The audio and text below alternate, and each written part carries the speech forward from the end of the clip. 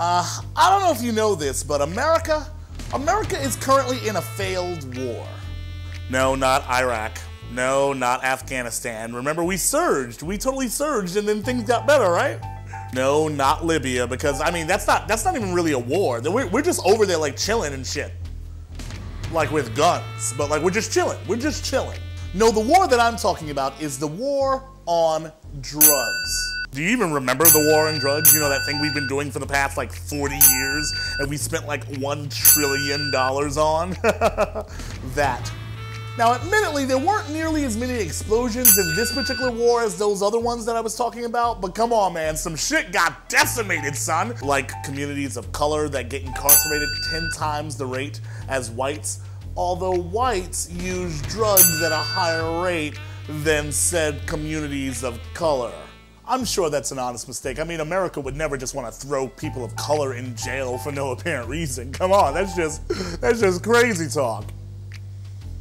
The failed war on drugs has seen horrible consequences, you know? Lives ruined, communities destroyed, Willie Nelson. Did you know that the American Industrial Prison Complex houses 25% of the world's incarcerated population, although America is only 5% of the entire population? Yes, American exceptionalism! Ha ha! Wait, wait, wait.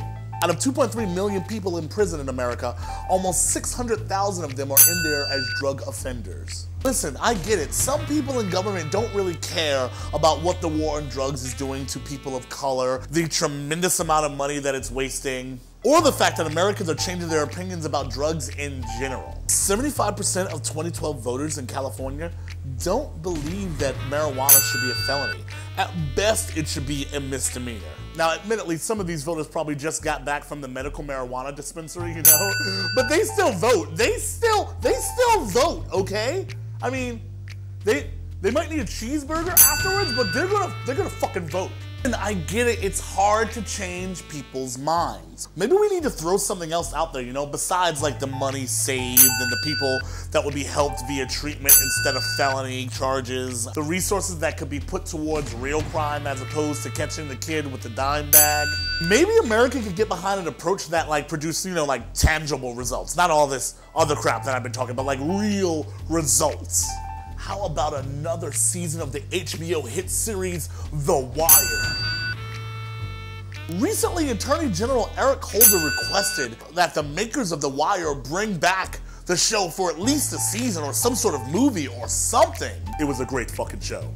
And the creator of this critically acclaimed series has agreed to help Holder out. He will bring out a new season of The Wire all the Justice Department has to do is call off the failed war on drugs. See, people are listening now, you know, like lives destroyed for simple possession, ah, forget that. Bringing back The Wire, now we're talking. Come on, just think about it, okay? The best television show to ever be put on TV can come back. All we have to do is stop wasting money on a failed war that even the Global Commission on Drug Policy has said has failed. Come on, we can get Omar back. That would be awesome. Wait, didn't didn't Omar die? Fuck it, we can have zombie Omar. Let's be real here. The drug war has failed, okay? Not only did it not stop drugs from coming into the communities, it actually hurt communities across the country, okay? It hurt my community. I grew up in Bed-Stuy in the middle of the crack epidemic. And instead of treating the problem, the drug war just destroyed the lives of friends and family members of mine. People want to talk about American exceptionalism, you know? You know one of the traits of exceptionalism? Admitting when you're wrong.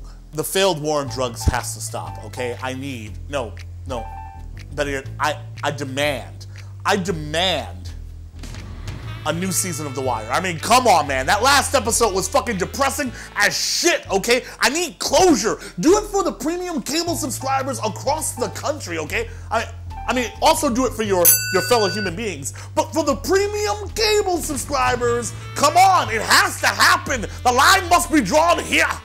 Want to stop this stupid war on drugs? Go to aclu.org forward slash just say no. Become a member of the ACLU and join the fight for a reasonable drug policy in America.